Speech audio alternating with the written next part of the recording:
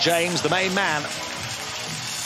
And on the bench, Sasha Obradovic, who by the example of the captain, they're going to work hard to disrupt Monaco here this evening, although Ouattara gets in with Monaco's first score. Yakuba. Monaco, the seventh best defensive rating in the competition this season. What a pass from Mike James on the bounce and getting a point of appreciation to score on the reverse. Look at the defense from Jordan Loyd as well. Okobo checks the rear view mirror and putting it in for four quick-fire points. Jordan Loyd showing how integral he is to this team. And that is what makes Monaco Munich. Here's Francisco, who had a career-high 21 in that game. This is his first shot here.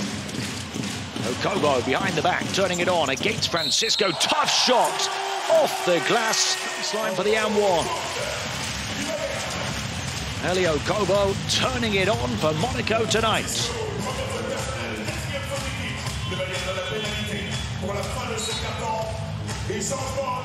Foul on Nicklas Wimberg.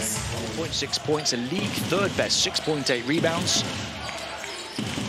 Also, a big finish by Donta Hall to illustrate the point that Ibaka is not there to protect the paint for Bayern tonight. Jordan Loyd, little jab step, Mike James on the bench right now for Monaco.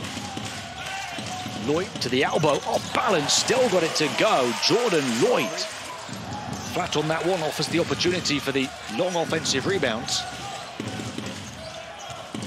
James to Okobo, has the perimeter all to himself and makes it count. James meandering his way through the defense, got it. Mike James turning on the magic tonight. The way Mike James just did. He's in the mood. He can see the playoffs coming. Bolmaro spinning and slipping and losing it. 10th turnover for Bayern already and out for Diallo. Darting down the floor and going up to the rack. On top of him. And no call And no sympathy shown by Monaco. Mike James, Motiejunas out to Jordan Loyd. Shot clock down to three though. Elie Okobo, footwork towards the logo and he drains it. The long stride footwork